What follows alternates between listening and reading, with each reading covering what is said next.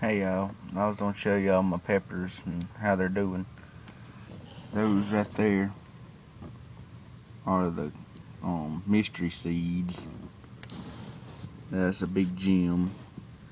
My Jamaican hot chocolate that's right there has sprouted. Um, and uh, it ain't come up yet, but I know it's sprouted.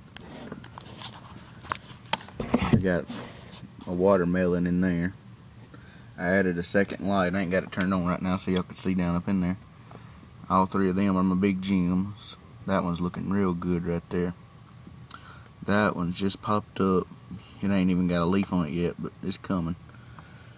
And that one, it's, it's doing alright. My Jamaican hot chocolates in there are all sprouted.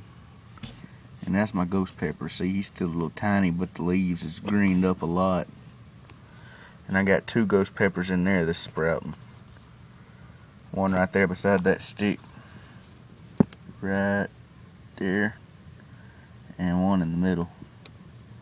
You can't, like I said, they're under the dirt, but they have sprouted.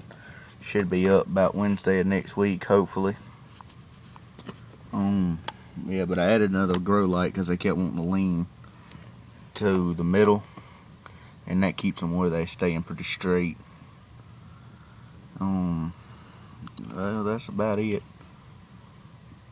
Other than some work I did on my box. I had to duct tape another piece of cardboard on there because this right here kept wanting to slide down too far. So, yeah, they look pretty good.